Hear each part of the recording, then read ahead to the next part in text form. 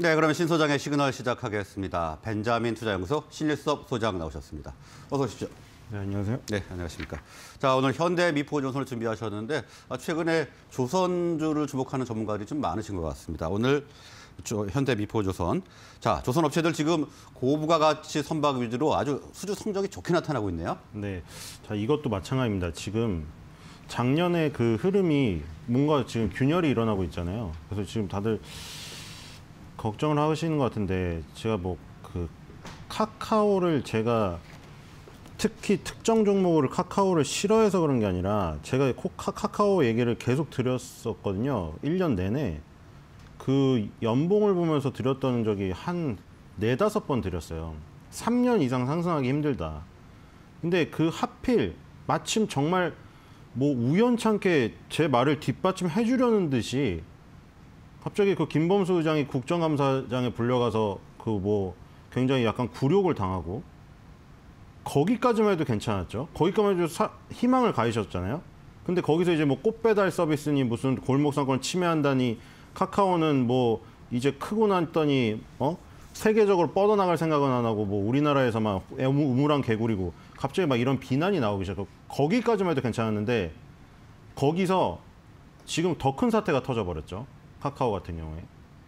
투자자들의 신뢰를 잃어버리면 요즘 같은 시대에는 옛날처럼 그 묻고 지나갈 수가 없어요. 올해 올해 지난해에도 벌써 NC 소프트가 그러했고, 그렇죠? NC 소프트 뭐 밑에서 슈퍼개미가 뭐 샀다고 뭐 잠깐 그거 뜬 거 있지만 이미 대세가 꺾여 버렸잖아요. 그 가차 논란에 의해서 뽑기를 했는데 뽑기 확률이 없었던 거예요. 그리고 확률 공개를 안 하고. 그래서 지금 대선 주자들도 뭐 확률 공개를 해야 된다 뭐 이런 쪽으로 나가고 있는데 NC 소프트도 그랬죠. 카카오도 그랬 카카오도 지금 스톡 옵션 카카오페이랑 카카오, 카카오뱅크 지금 다 스톡옵션을 행사한다던가 뭐 고점에서 판다던가 이런 것 때문에 신뢰를 완전 훼손시켰어요. 마, 근데 마, 마침 그게 그런 일을 예상하지 않았더라도 예상하지 않았다는 게 아예 못하는 거죠. 그런 예상을 어떻게 하겠어요. 어떤 어떤 신이 아닌 이상 오, 이번 연도 저, 저번 연도에 카카오가 거기서 무슨 그그 그 얘기가 나올지 스톡 옵션을 행사할지 그걸 그 사람 마음속에 안 들어가 봤는데 어떻게 알겠어요? 근데 우리가 알 수 있었던 방법이 있었던 거죠. 카카오 정도의 시가총액은 차트에서 나타나는 거죠.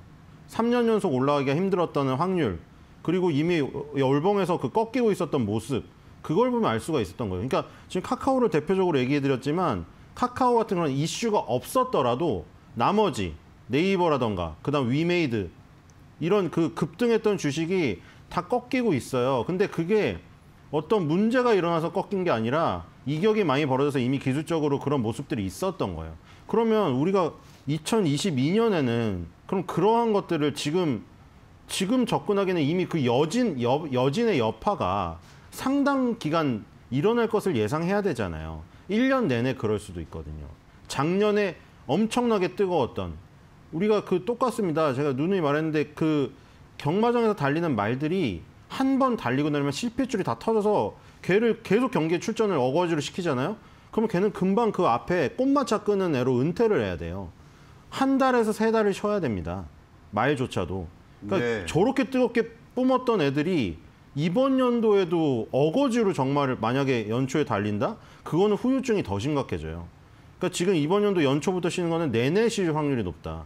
그러면은 그때 변화가 일어났던 것들이 그 미국 시장에서도 보여드렸잖아요. tech 기업들이 죽고 있는데 그게 물론 완전히 죽진 않죠. tech, 미국의 tech 기업들은 시대의 변화를 이끌어, 이끄는 기업이기 때문에. 근데 이격이 너무 많이 벌어져서 그때 보여드린 대로 우리 뭐 얼마 전에 했었죠. 뭐 지금 쉐브론이나 엑스모빌이나 그 뭐 광산업체들, 그쵸?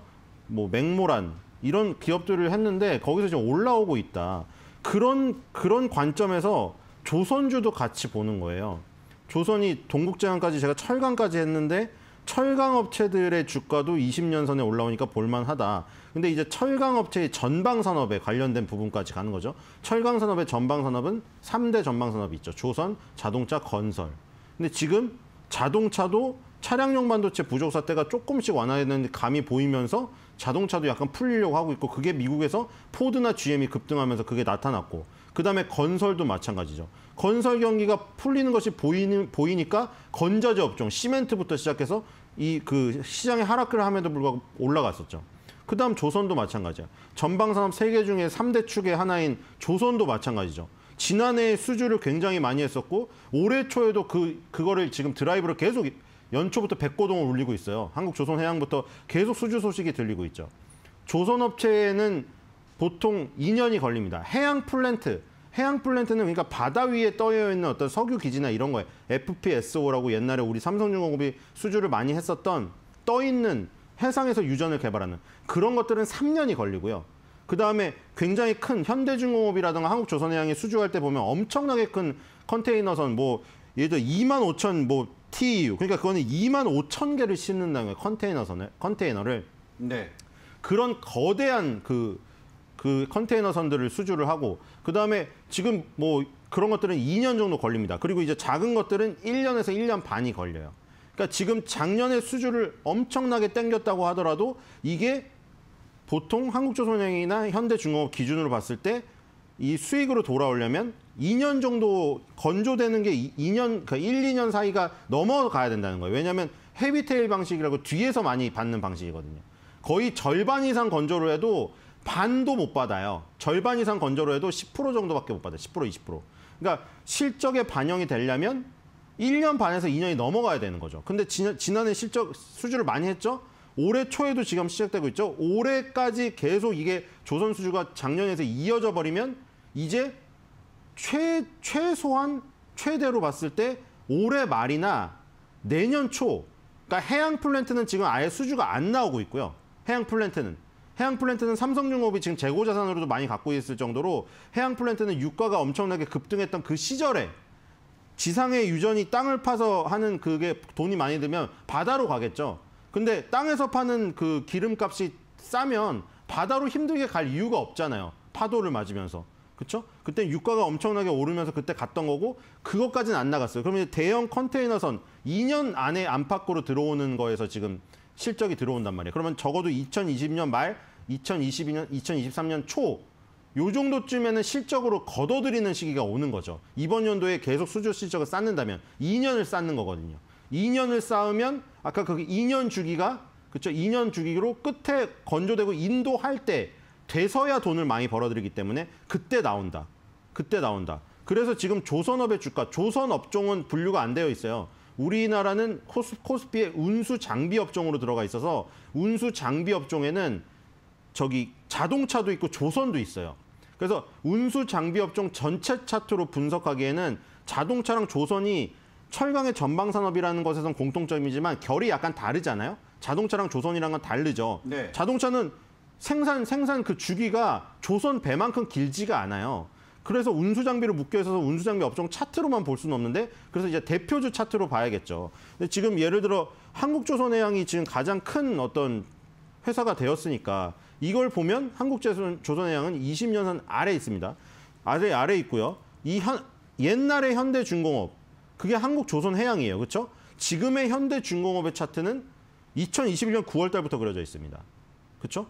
한국조선해양 차트가 옛날에 현대중공업이 그때 엄청 날릴 때 그 역사를 볼 수 있는 차트가 그려져 있는 게 한국조선해양이에요. 현대중공업이 옛날에 그 조선업종 랠리가 펼쳐질 때 엄청나게 급등을 했었던 그 그림이 이제는 한국조선해양으로 바뀌었습니다. 바뀌었고요. 근데 이 20년선 아래 있어요. 얘가 20년선 아래 있죠. 그럼 제 그 기준에 부합되지 않죠. 그리고 현대중공업은 생긴 지 얼마 안 됐기 때문에 장기간의 차트가 없어요. 다시 보여드릴게요. 한국조선해양은 현대중공업의 과거 차트예요. 옛날에 50만 원 갔을 때. 근데 지금 20년선 아래 있기 때문에 아직도 회복을 못했죠. 근데 지금 보면은 예를 들어 현대 미포조선은 이런 모습입니다. 20년선 위에서 지금 슬라이드를 하듯이 올라오고 있죠. 이런 네. 모습이고요. 그리고 대우조선해양 보죠. 대우조선해양은 20년선 밑에 내려가서 10년선 아래에 있습니다. 한국조선해양보다 더 안 좋아요. 네. 더 안 좋고요. 삼성중공업도 보세요. 삼성중공업도 20년선 아래에서 10년선 아래 깔려 있습니다.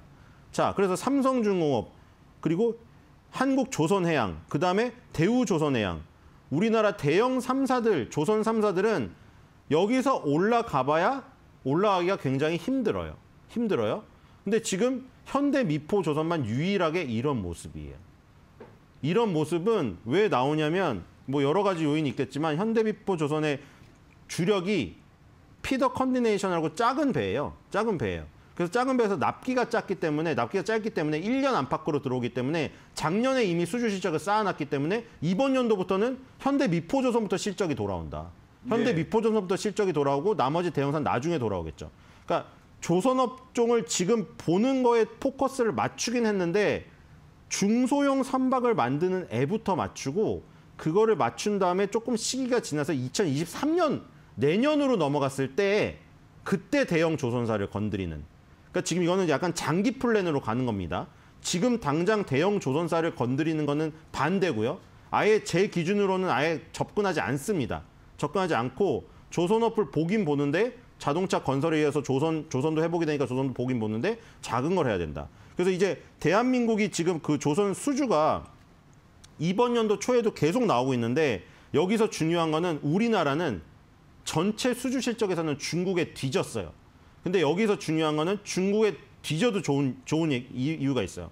어차피 세계에서 지금 일본 조선사도 나가 떨어졌고 중국하고 일본 둘, 한국 둘이, 둘이 남았어요. 거기서 일, 전체 수주 실적을 1등하냐 2등하냐보다 중요한 것은 고부가가치 비싼 거를 팔아서 많이 남겨 먹느냐 그거 하나랑 두 번째는 국제 해사 기구의 기준에 맞추는 친환경 선박을 수주하느냐 그럼 그걸 많이 수주하면 중국의 전체 배척은 뒤질 수 있을지언정 비싸고 친환경을 더 많이 하면 앞으로는 고부가 가치 선박, 친환경 선박을 수주해야지만 해상에서 운행을 할 수 있기 때문에 중국의 당장 숫자에 뒤진 것은 별로 염두에 두지 않아도 된다. 근데 어쨌든 팩트를 보면 지난해 8년 만에 최대 수주 실적을 달성했고요. 내용이 더 중요하겠죠. 고부가 가치 선박에서 1위 했고요. 친환경 선박에서 1위 했습니다. 전체 수주량에선 중국이 1위 했고요. 그 타이틀을 중요시 한다면 중국은 그 타이틀 홀더로 뭐 명예를 따지면 될 것 같습니다. 고부가 가치 선박 세계 발주량이 1940만 CGT입니다. CGT라는 그 이 이 그 중량 중량 단위인데 이것은 배의 종류도 너무 여러 가지고 뭐 톤수도 여러 가지이기 때문에 CGT라는 걸로 하나로 그냥 묶었어요. 이걸로 1940만 CGT인데 이게 척수로는 302척입니다. 근데 302척 중에 고부가 가치 선박이 191척이에요. 그러니까 CGT로는 1252만 CGT더. 이게 65%입니다. 여기서 1위를 차지했고요. 고부가 가치 선박. 그리고 친환경 선박 쪽 대형 액화 천연가스 LNG를 운반하는 선. 아, 요거 친환경 선박 뒤쪽에 할게요. 이 고부가 가치 선박 중에서 대형 LNG를 운반하는 선, LNG를 싣고 나르는 선, 그게 세계 발주량의 89.3, 거의 90%를 휩쓸었어요. 네. 지금 LNG가 많이 해상에서 필요하다는 얘기예요. 필요하다는 얘기고 그리고 초대형 원유 운반선. 그러니까 대형, 초대형 이런 큰 것이 많이 남는 거 고부가 가치죠. 비싼 거죠. 초대형 운- 원유 운반선은 V자가 붙어요. very, large에서 VL. VLCC가 88%가 우리나라가 가져왔습니다. 그리고 12,000 TEU 이상. 그러니까 20피트짜리 20피트짜리 컨테이너가 12,000개 실리는 대형 컨테이너선은 47.6% 수주했어요. 그러니까 지금 대형, 초대형 천연가스 싣고 원유 날르고 컨테이너 날르는 이 선박 위주로 우리나라가 쓸어왔기 때문에 전체 척수에서는 중국에게 뒤졌지만 비싼 배는 우리나라가 훨씬 많이 수주를 했다. 요거 요게 지금 그 우리나라의 그 작년의 실적입니다. 네, 일단 조선 업종에 주목을 하되 중소형주 위주로 포인트를 좀 잡아야 할 것 같다 이렇게 말씀을 해주셨고요. 방금 전에 살짝 언급을 해주셨지만 이 친환경 선박 수주도 우리가 1등을 하고 있죠. 예, 고부가가치에서 1위 아까 했다고 말씀드렸고요. 고부가가치란 건 아까 대형 액화천연가스, 초대형 원유 운반선, 초대형 컨테이너선 이런 커다란 것들을 얘기하는 거예요. 네. 작은 배보다 커다란 게 비싸고 많이 남기 때문이죠. 그게 고부가가치고 친환경 선박은 뭐냐? 말 그대로 연료를 친환경으로 쓰는 거예요. 지금 그 선박의 원료는 중유를 써거나 방- 벙커시유를 씁니다. 그게 이 그 정유회사 사- 정유산업에서 설명드릴 때 얘기를 드렸죠. 원유를 증유탑에서 끓이, 끓여서 끓는 점 순서에 따라서 나오잖아요. 휘발유, 나프타, 뭐 그 중유, 등유, 경유가 나오죠. 중유에 중유는 선박이 가져가고, 그렇죠? 경유는 거기가 쓰고, 한 자동차가 쓰고 이렇게 되는 거죠. 근데 이 중유를 주로 쓰는데 여기서 이산화탄소 발생량이 많기 때문에 국제 해사 기구의 탄소 감축 목표를 맞추려면 LNG 연료 추진을 하던가 아니면 암모니아를 쓰던가 아니면 메탄올을 쓰던가 아니면 뭐 지금 먼 미래의 얘기가 나오고 있는데 자동차, 전기 자동차나 수소 자동차처럼 선박에도 전기 전기 배나 수소 배를 하자. 요거까지 나오고 있습니다. 근데 지금 가장 많이 나오는 것은 LNG 추진선. 그러니까 LNG 아까 전에 고부가치 선박에서 나온 대형 액화천연가스 운반선이랑은 약간 다른 개념이에요. 대형 액화천연가스 LNG 운반선은 지금도 많이 중유를 쓰고 있기 때문에 중유 추진 대형 액화천연가스 운반선이라고 불리우겠죠. 근데 지금 LNG 추진선이란 것은 선종을 가리지 않습니다. 그게 벌크선이든 자동차 운반선이든 원유, 운반선이든 컨테이너선이든 연료가 LNG냐 아니냐예요. 그것은 LNG 연료 추진이란 거죠. LNG 연료 추진선을 주로 많이 수주를 했습니다. 지금 지난 지난해 한 해 전 세계 발주된 친환경 선박이 1,709만 CGT인데 여기서 64%인 1,088만 CGT를 우리가 수주를 했어요. 친환경 선박을. 그렇죠? 이 아까 고부가치 선박도 막 88%, 89% 이러고 친환경 선박도 64%죠. 근데 이 중에 친환경 선박 1,088만 CGT 중에서 LNG 추진 선박이 82.4예요. 그 다음에 LPG 추진 선박이 11.6이고요. 그러니까 지금 우리가 친환경 선박이라고 불리우는 것들 중에 아까 제가 말한 거 뭐 암모니아, 메탄올, 전기, 수소 뭐 이런 것들 있죠? 근데 지금 현재 친환경 선박 중에 가장 많이 건조가 되고 있는 것은 뭐다? LNG 추진, LNG 연료 추진이에요. 지금은. 그래서 LNG 연료 추진 선박을 수주를 해서 지금 국제 해사 기구의 탄소 감축 목표에 대응을 하려고 선주들이 현대미포조선, 대우조선해양, 한국조선해양, 현대중공업에 주문을 LNG 연료 추진선을 만들어 주세요 하고 주문을 넣고 있다. 이런 추세라고 보시면 될 것 같습니다. 그 중에 우리나라가 대부분 수주하고 있다. 그러니까 우리나라가 트렌드에 맞는 배를 많이 갖다 주고 있는 것이죠. 결론적으로. 네, 지금 최근에 이제 탄소 중립이 세계적인 화두가 되고 있는데 이쪽 조선업종도 마찬가지죠. 맞죠? 우리 뭐 땅 땅이라고 뭐 틀리고 하늘이라고 틀리고 바, 배라고 바다라고 틀리겠어요? 환경 오염은 어디나 그 진행이 되는 거고 중국에서 맨날 공장을 돌려서 스모그 현상이 일어났는데 그게 이 먼 바다의 파도를 이겨내고 우리나라까지 날라온다는 거 아닙니까? 그러니까 결국에는 배 예를 들어 자동차만 전기차 수소차로 가고 배는 그대로 그냥 중유를 쓴다. 중유 벙커시유를 쓴다. 그러면 열심히 자동차 뭐 수소차 전기차 써서 하늘을 깨끗이 만들어 놨어요. 근데 배에서 뿜어내는 연기가 다 날라와서 육지를 또 오염시킵니다. 그러니까 당연히 배, 배에서도 그렇게 나갈 수밖에 없는 거죠. 예. 바다를 관리하는 것은 국제 해사 기구예요. 국제 해사 기구에서 탄소 감축 목표를 설정했는데 2025년까지는 2008년 대비 30% 이상 감축 목표고요. 2030년까지 40%, 2050년까지는 70% 수준입니다. 그러니까 지금 우리 탄소 중립 2050이라고 각국 정부에서 내놓는 것이 탄소 중립 2050, 2050 되면 0으로 맞춘다는 거거든요. 바다는 조금 더 여유를 뒀어요. 바다는 2050년 갔을 때 70% 이상까지. 바다는. 그래서 70% 수준까지 단계적 규제 강화를 해야 된다. 그러면 선주들 입장에서도 이 그 조선사에 주문을 할 때 당연히 그 탄소를 줄일 수 있는 배를 주문해서 받아야 이 국제 해사 기구의 목표에 맞춰서 제대로 된 운행을 할 수가 있겠죠. 그러니까 당연히 선주들이 친환경 LNG 연료 추진 선박을 발주하는 것이 대세가 될 수밖에 없다. 그것에 맞춰서 행동하는 조선사만 살아남을 것이고 그것에 마, 맞추는 능력이 없는 조선사는 도태되게 될 것이죠. 네, 지금 LNG 추진 선박이 지금 대세가 되고 있는데요. 어, 현대미포조선의 피더 컨테이너 선의 몸값이 계속 오르고 있다고요? 네, 현대 미포조선은 자 뭐가 다르냐? 아까 전에 12,000 TEU 이상 대형 컨테이너선을 우리나라 선사가 47.6% 수주했다고 했죠. 예. 이거는 TEU 20피트짜리 컨테이너가 12,000개가 실리는 거예요. 근데 현대미포조선의 주력은 3,000 TEU예요. 아까 그 12,000의 4분의 1밖에 안 되죠. 네. 컨테이너 20피트짜리가 20피트는 그러니까 우리나라로 하면 6m입니다. 피트가 미국 단위라 어려워요. 6m, 6m짜리 컨테이너선이 3,000개 실리는 거예요. 이, 이런 소형 컨테이너선을 하는데 전 세계 컨테이너 선봉량, 선봉량은 실리는 화물의 양입니다. 배에 실리는 화물의 양, 양, 양을 따지는 건데 6,280척 중에 단거리를 가는 피더 컨테이너선은 3,824척으로 전체 61%를 차지해요. 그러니까 오히려 전체 전 세계 컨테이너선 중에 피더 컨테이너선이 61%로 더 많아요. 현대 미포조선이 주력을 하고 있는 시장이 더 크다는 거죠. 컨테이너선에서 가장 크다는 거고 가장 최근에 수주 소식을 볼게요. 여기 지금 올해 들어서 하나 나왔습니다. 지금 1월 4일 날 지금 공시가 떴습니다. 현대미포조선이 단일 판매 공급 계약 체결을 서- 성공했는데 오세아니아 선주, 선주라는 건 배의 주인이요. 배의 주인이 될 사람이 조선사에다가 주문하는 거죠. 컨테이너선 세 척을 했습니다. 근데 여기 컨테이너선 세 척을 그 수주를 했고 2022년 1월 3일까지 계약 일자로 되어 있습니다. 이것도 feeder 컨테이너선 feeder 컨테이너선이죠. feeder 컨테이너선에 LNG 연료 추진 방식으로 수주를 받았다고 지금 기사가 나왔습니다. 이게 왜 더 중요하냐면 아까 피더 컨테이너선은 작고 단거리를 간다고 했죠. 단거리를 가기 때문에 주로 어딜 가냐면 커다란 망망 대해를 가는 게 아니라 강, 소규모 항구로 갑니다. 그러니까 바다가 아니에요.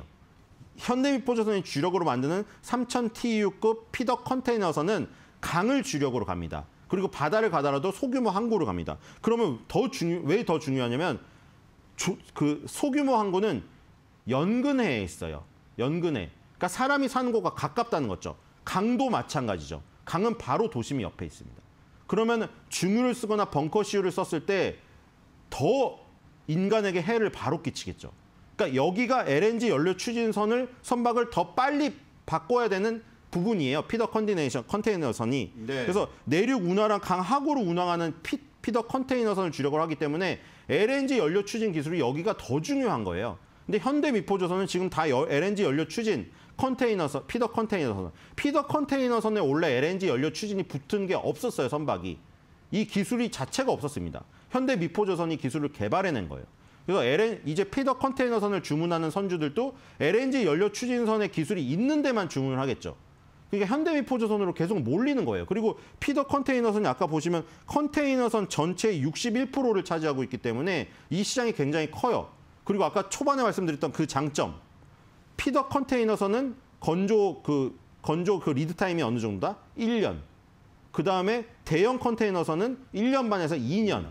그렇죠? 그게 한국조선해양이나 대우조선해양이나 현대중공업이고. 그럼 이제 현대미포조선은 lead time이 1년 정도로 돌아오니까 heavy tail 방식으로 뒤늦게 받는다고 해도 지난해에 쌓아둔 게 있잖아요. 지난해에 쌓아둔 게 그러면 올해 말에는 그게 땡겨지겠죠. 그리고 올 초부터 섬, 이 수주한 거, 세 척 수주한 거 이게 계속 된다. 그럼 이거는 내년 말에 나오겠죠. 그러니까 현대미포조선이 제일 빨리 돌아와요. lead time도 짧고 그러니까 벌어들이는 그, 그 금액도 빨리 돌아오겠죠. 마지막에 인도할 때 80을 받습니다. 인도할 때. 그러니까 작년 께 올해 말에 80을 받게 되겠죠. 그러니까 올해 말 4분기에는 실적이 땡겨지기 때문에 주가는 3분기로 갈수록 제일 강하게 움직일 확률이 높다는 거예요. 그러니까 현대미포조선은 지금 20년선으로 봤을 때 혼자 조선 사, 조선 3사, 4사, 뭐 5사 따졌을 때 혼자 20년선 위에서 바닥을 지금 다져서 올리 올라가고 있잖아요. 네. 이런 그림에서는 이런 그림에서는 투자하기가 굉장히 좋은 거죠. 아까 왜 앞에다가 그런 것들을 깔, 깔았는, 깔았냐 전혀 상관 상관없는 업종인데 그런 게임 업종이나 뭐 메타버스 플랫폼이나 tech 업종이나 그런 것들은 연봉에서도 이격이 너무나 벌어져 있어요. 네. 그렇기 때문에 이제 정리하죠. 카카오 같은 거는 이렇게 연봉에서도 20년선과 이 정도 이격이 벌어져 있는데 현대미포조선은 20년선과 이격이 벌어지지 않아 있어요. 이렇게 연봉에서 20년 선에 붙어 있는 초반기에 노려야 이렇게 커다란 양봉을 마음 놓고 먹을 수가 있어요. 불안하지 않게. 그래서 그런 면에서 지금 이런 흐름으로 가, 가는 것 중에 연봉의 20년선 위에 위치한 것을 골, 고르면 되는데 그 중에 조선사에서는 현대 미포조선이 현대미포조선. 그 조건에 네. 부합한다. 이렇게 알겠습니다. 결론을 낼 수 있겠습니다. 자, 오늘은 여기까지 듣도록 하겠습니다. 오늘 말씀 고맙습니다.